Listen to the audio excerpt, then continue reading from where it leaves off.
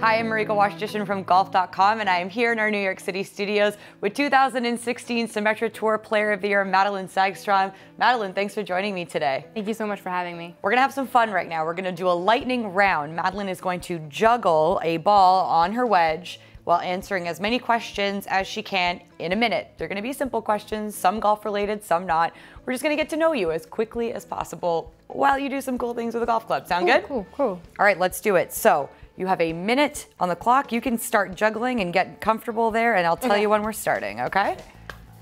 And go. Favorite book? Um, I like the notebook. Favorite activity when you're not golfing?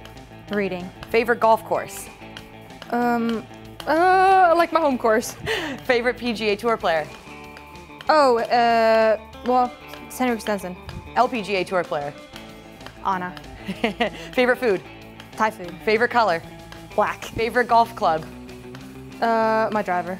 Your golf idol? Annika. Your favorite actor or actress? Oh, I'm terrible with movies. Nobody. favorite animal? Dog. Coffee or tea? Coffee. Vanilla or chocolate? Vanilla.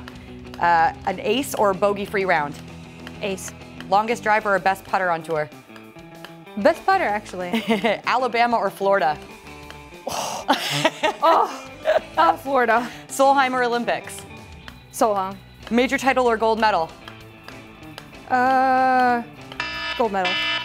She did it! She did it, folks! She did it! You're a star. You didn't drop it once. No, I We got know. to know you pretty quickly. Coffee, I'm also a coffee huge person too.